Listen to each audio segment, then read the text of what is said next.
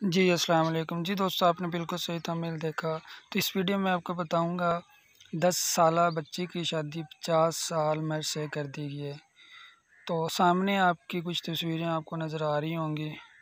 तो इसमें दो ऐसी बच्ची हैं और जिसकी शादी पचास साल मर्द से कर दी गई है।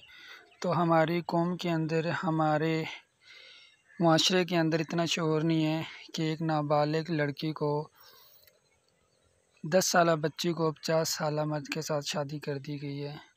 हमारा मुआशरा इस हद तक पहुँच सका है कि हमें इतना शहूर नहीं है कि हमारी छोटी छोटी बच्चियों को पचास पचास साल की उम्र से शादी कर दी है। इनके वालदेन को इतना शोर नहीं है कि एक नाबालिग छोटी सी बच्ची को, जिससे कुछ भी नहीं पता, इतनी छोटी सी उम्र में बच्ची की शादी कर दी गई और इसकी सूरत हाल, इसकी कंडीशन बिल्कुल नाजुक है।